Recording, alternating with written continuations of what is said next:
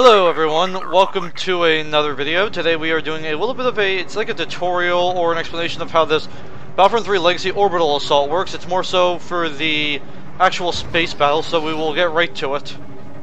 Alright, so the first thing I suggest you do is go onto the ship, spawn in, and take these ARC 170 Starfighters, because they are extremely helpful in the fight, and they will help you decimate the fleet a lot faster than you think. So, I guess the first thing I'll explain how to destroy is this Lucrehulk class battleship. So first, as you see, there's a shield. So first, take out the shield here. Only thing is with this, you have to get a little bit closer. So destroy the shield first, and I'll come back to you once I do that. Okay, so we're just about to take down the shield here. And now the shield's down, what you want to do is get to the front area here. Doesn't matter which way you go, so let's just say we want to go this way. Just go into the Lucrehulk class battleship and destroy the inside of it. And there's only one little area you need to destroy. That's why I say do this first, because then after this it's much easier to destroy the ship. At least in my opinion. But you know, we all have differing opinions here. I welcome diversity. So you just gotta fly all the way in here, and you just got to keep going until you see the... Uh, what's it called? A little opening to your right once you get to this big uh, opening here. Right here. There, there are engines, it says, but it really isn't. See, what you do here is you just gotta shoot into here and destroy them. See, that's part one of it. Hold on, I'm gonna turn around here. And then we'll destroy these. Alright, so now you don't have to worry about doing this now. Now you just gotta fly out of here and I'll show you where you need to go afterwards. Hold on, let me fly out of here first. Okay, so now we're out, and since the shields are down, you want what you want to do next is you want to start shooting this area up here because I think it's the command bridge, if I remember correctly. So you just want to keep shooting it with this ARC 170 Starfighter because it's much easier that way. So there's part one of what you do, and now you move on over here, I believe. You gotta start shooting this part now. Until it gets off, and now it's been shot off, and now what you do next is you fly all the way straight back to the engines. And keep using this ARC 170 because it's really good, and it really increases your chances of destroying this better. Alright, so now you can just start shooting the uh, engines here. It should take about two full things, and once you destroy it, it's 200 reinforcements they lose. So that's just going to be uh, taking off now. And now we're going to move on to the second part here of the engines. There are three engines each, so you just have to keep doing it this way. Uh, oops, I think I'm a little bit too close there. Hold on. Alright, this should help a little bit. Yep, uh, what you want to do here is you just want to start destroying these engines here. I guess you can just do the small ones, do the small ones. I guess the bigger ones don't work all the time. See, there's there's the second part of the engines that are going bye-bye.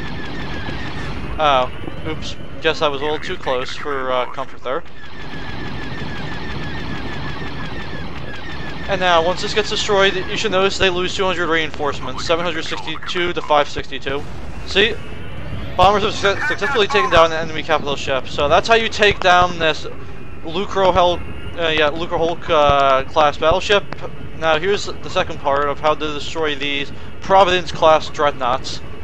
Okay, so once you take down the shield first, you can just start going for three parts again. You go for the engines, then you go for the command bridge, or no, the communications area, and then you go for the bridge.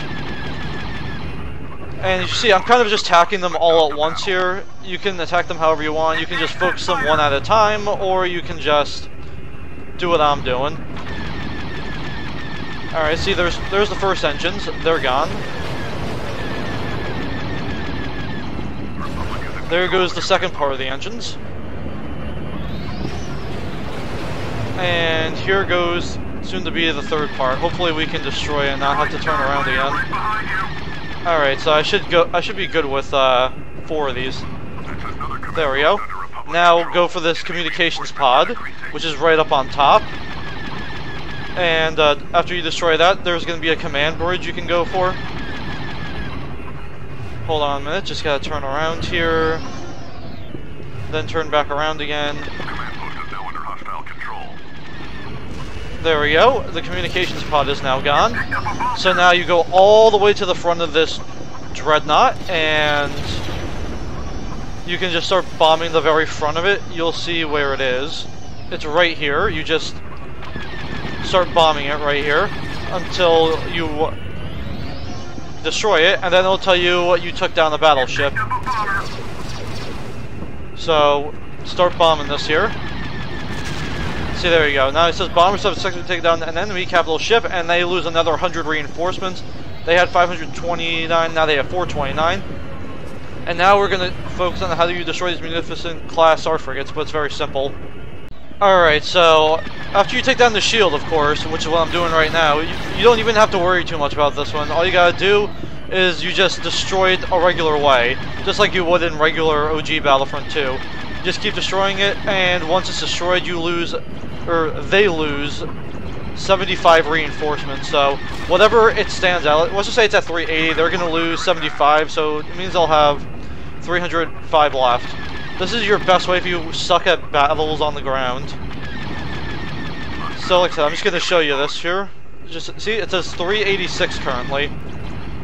35. See, now it's down 310. So they lost 300. They lost 75 reinforcements. Now they're down to 310. So that should be all you need to know. The ground assault is basically useless. You just capture all the command posts like regular conquest. And, and, I mean, you can destroy other parts of this too if you want to, but you really don't have to. It doesn't do anything. It's a time waster. So anyways, thank you all for watching this video. I hope it helped you, and uh, goodbye.